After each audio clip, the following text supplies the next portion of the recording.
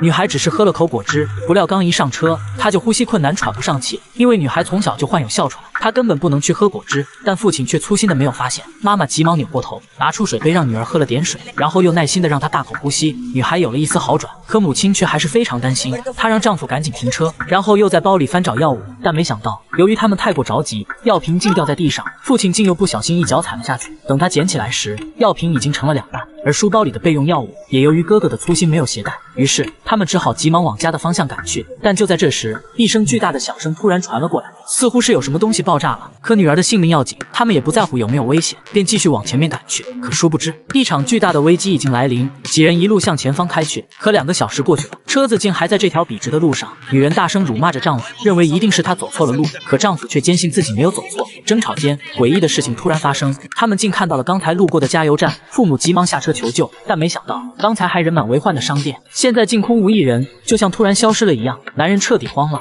他急忙开车向前驶去。可奇怪的是，他们不管朝哪个方向去开，始终都没能离开公路。而且更糟的是，女孩的症状也愈发严重，如果再不治疗，马上就会有生命危险。母亲已经绝望，她痛苦地抓着头发，不知该如何是好。而就在这时，车子竟然再次来到刚才路过的站牌下面，女人彻底崩溃了。她将女儿放在地下，不断地安慰着她，而车里的父亲也悔恨地流下了眼泪。如果不是自己的粗心，事情肯定不是这个样子。他走下车来，发疯地对着老天喊叫。紧接着，丈夫便朝着大山的方向跑去，他想看看到底有没有出口。而女孩也陷入了昏迷，于是女人决定不等丈夫，选择独自开车去寻找出口。可身后的儿子却大喊着赶紧停车，因为女孩已经没有了脉搏，必须停车急救。但女人已经完全崩溃了，她狠狠地扇着自己，试图把这个噩梦打醒。看着母亲发疯的模样，哥哥已经绝望，他将妹妹一把抱下了车，义无反顾地走向了另一边。但不料，女人并没有停车，还认为这一切都只是梦。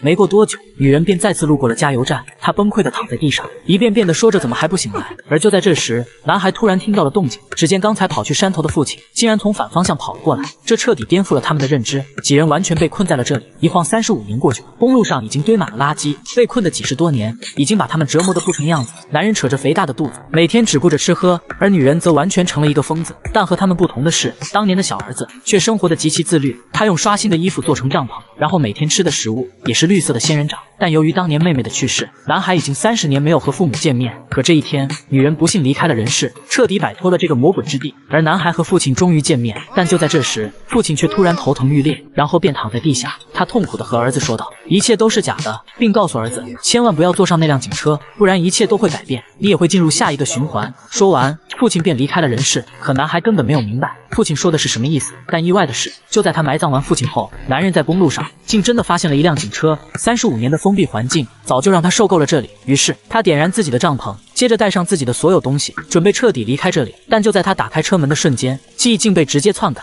所有东西两手一扔，而他也进入警车，很轻松的就离开了这里。随后，男人整理好妆容，换上了车里的警服，便进入了下一个循环，连同第一集去看就能看懂。到此故事结束。